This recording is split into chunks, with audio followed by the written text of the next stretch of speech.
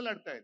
एक घराणं पक्ष चालवतोय अमित शहा जेव्हा शिवसेना प्रमुखांच्या फोटोला लोटांगण घालायला मातोश्रीत आले होते तेव्हा माहीत नव्हतं त्यांना की कुठे आलोय आपण? कोणाच्या फोटो समोर लोटांगण घालतोय? कोणाच्या मुलाबरोबर बोलतोय? हा पक्ष प्रमुख आहे? हा घराणेशाहीवाला आहे? याच्याशी बोलता का म्हणे हारलो तरी चालेल पण घराणेशाहीच्या पक्षाचा पाठिंबा नको. काय दाखवलं? पण तेव्हा आणखीन तीनशेच्या वरती जागा मिळाल्या. आता त्यांना चारशेच्या वरती जायचंय. का जायचंय? याचं कारण स्पष्ट आहे.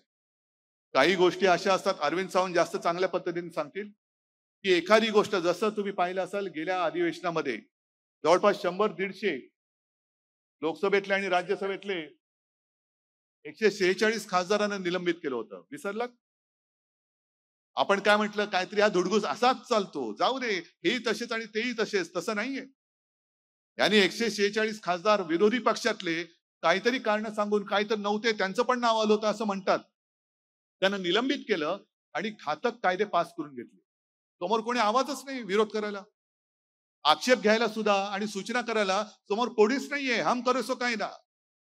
आणि आता यांना चारशे पार एवढ्यासाठी पाहिजे देशाच्या कल्याणासाठी नकोय. यांना घटना बदलायची आहे.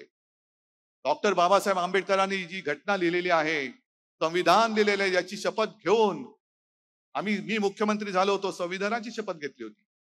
अरविंद सावंत मंत्री होते संविधानाची शपथ घेतली. पंतप्रधान मोदींनी सुद्धा संविधानाची शपथ घेतली. ते संविधान आहे ना आता बदलायचं आहे आणि ते बदलण्यासाठी आवश्यक असलेला जो आकडा आहे तो चारशे पार करायचा आहे करावा लागतो म्हणून यांना चारशे पार करायचंय. आणि चारशे पार म्हणजे काय? मग पाचशे शेहेचाळीस पण तुम्हीच घेऊन टाका. समोर कोणाला ठेवायचंच नाहीये. उद्या कोर्टात जरी कोणी गेलं तरी सांगतील काय? सु- संसदेचा अधिकार आहे. जसा दिल्लीच्या बाबतीत दिल्ली सरकारच्या बाबतीत सर्वोच्च न्यायालयाने दिलेला निर्णय यांनी लोकसभेत बदलला तसं यांचं पाचवी बहुमत आल्यानंतर हे घटनासुरा सुद्धा मानणार नाहीत घटना सुद्धा बदलतील. आणि जसं रशियामध्ये पुतीन यांची हुकुमशाही आहे निवडून आलेत पण अध्यक्ष आहेत. आणि एवढी पाचवी त्यांची एक ताकद आहे त्यांना जो विरोध करेल तो नाहीसा होतो. एक तर त्याचा म्हणजे त्याचा तो कसा मृत्यू पावतो तेच कळत नाही.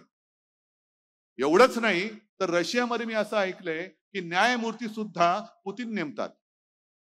हीच पद्धत आपल्याकडे सुरू झाली तर आपण न्याय मागणार कोणाकडे? मी उभा आहे ज्याच्या विरुद्ध ते हे आहे. मी वृत्तीविरुद्ध उभा आहे आणि हुकुमशाहीच्या विरुद्ध उभा आहे कारण आपला हा देश आपण तर भाग्यवान आहोत. आपल्याला काहीही न करता स्वातंत्र्यामध्ये आपण जन्माला आलो. आपण स्वातंत्र्य उपभोगतोय. पण जे ज्याने आपल्या स्वातंत्र्यासाठी बलिदान केलं आपण म्हणतो ना वंदे मातरम म्हणत हसत हसत फासावर गेले.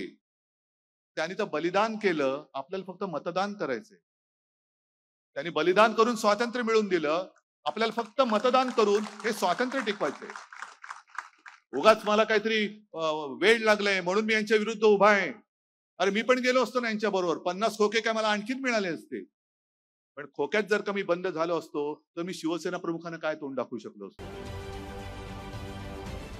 राजकारणातील प्रत्येक अचूक बातमीचे सर्वात आधी अपडेट्स मिळवण्यासाठी सरकारनामाच्या सर्व सोशल मीडिया प्लॅटफॉर्मला लाईक फॉलो आणि सबस्क्राईब करा.